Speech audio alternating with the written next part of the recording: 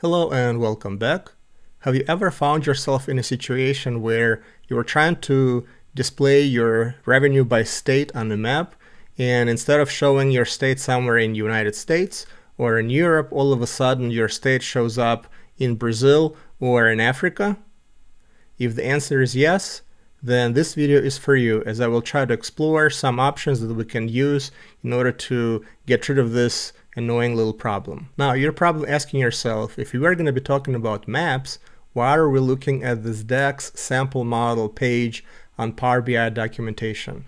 Well, what's interesting is that as I was looking for some DAX information on dates and period function, I found that there is now a DAX sample model, and then if you follow this link, you will land on this page, and that DAX sample model is a Power BI desktop file built on top of pretty well-known AdventureWorks data warehousing sample.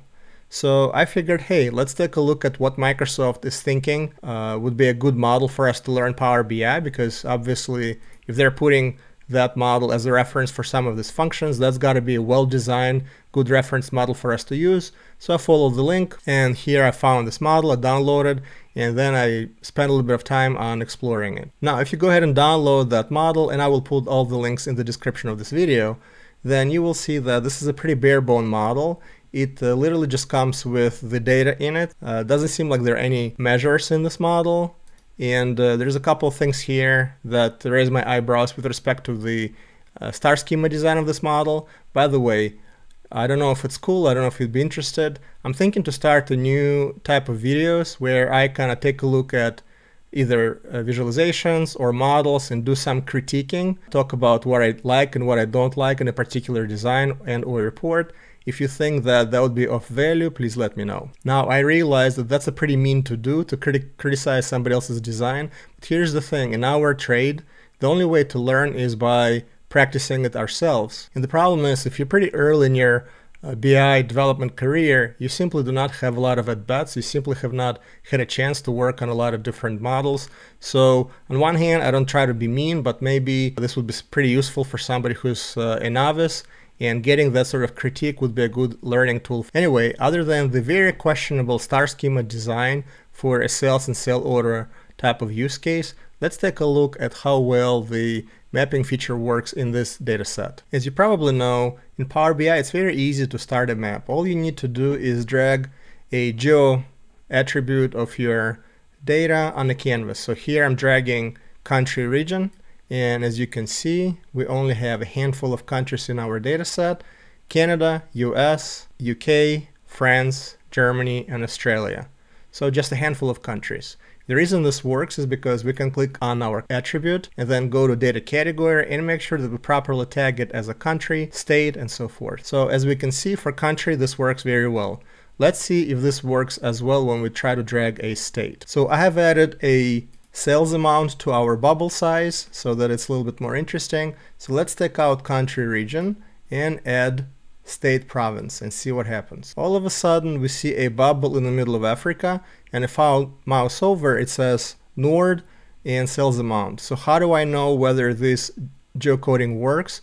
Well, what I could do is I could take my country region, drag it into tooltip, and then mouse over, and then it says that this is state and province Nord, country region is France, but for whatever reason, Microsoft thinks that this particular region of France belongs in the heart of Africa. So how do we fix it? Well, there's two ways to fix it. The first way to fix it is to add an additional column and try to add a little bit more information to that state description. So what we could do is we could say Nord, comma, France and see if that works. So here I've added another column to our, our customer dimension and all I'm doing here is I'm creating a column called state and that column is a concatenation of the state province. So in our case, for example, it's going to say California, comma, and then the country name. Let's see if that works any better. Okay, so I made a copy of the top chart. So this is going to be before and this is going to be after. And what I'm going to do is I'm going to remove my state province column that came with the model.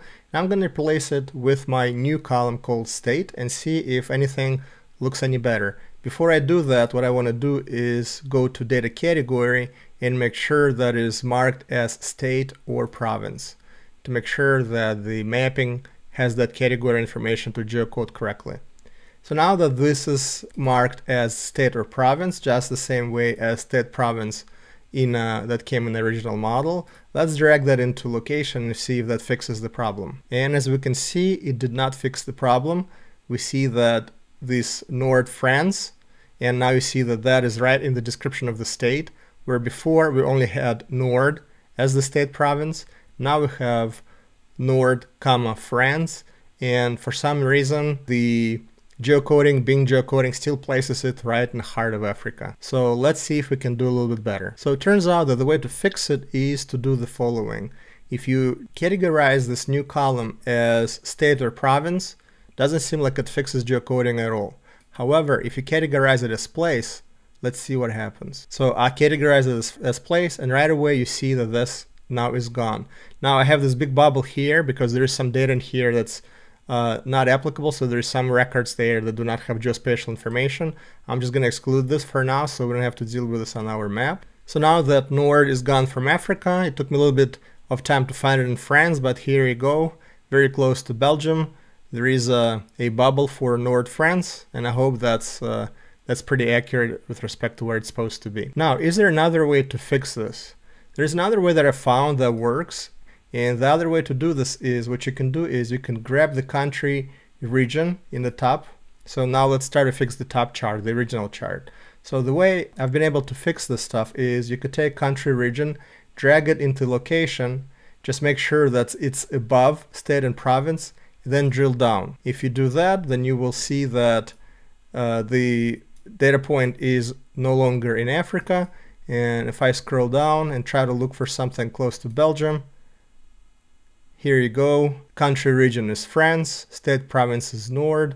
So we're looking at exactly the same location in both cases. So here we have Nord by fix this by uh, drilling down, or you could just create a new column with a state column country name and then categorize it as place and that seems to be working just as well. And if you look at other bubbles, it seems that my bubbles in the map below look very similar to my bubble bubbles in the map above. So that place categorization seems to be working just fine. Now, there's one more thing that I'd like to point out where this place concept is actually pretty cool, and that is when you're trying to compare things at a different grain uh, geographically. So if some of your data comes at the country level, some of the data comes at a state level, you may have some data at the city level, and if you're using this drill down approach, then you're going to be uh, missing an opportunity to show all of your data at the same time on the map. So sometimes if you have that kind of heterogeneous geospatial categorization of your data, then making that place column and then categorizing as a place can help you show different type of grain of data on the same map at the same time. So that's about uh, all I had on this mapping problem. Let me know if you have found a different way to address it. Let me know if you're dealing with the same issues as well. I know that's been pretty annoying feature and pretty annoying problem in this in this map implementation for a while. I'm hoping that the geocoding that Bing does uh, will get better over time. Hope this was useful and please come back again soon.